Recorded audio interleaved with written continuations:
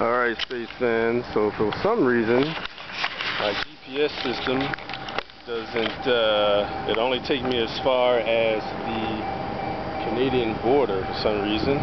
So, from now on, I'm going to have to navigate by using the sun and trigonometry, geometry, all that good stuff.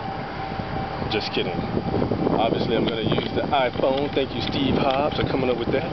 So anyway, that's where we are now. We're right here on the border. Um, relatively quiet, a lot of farmland.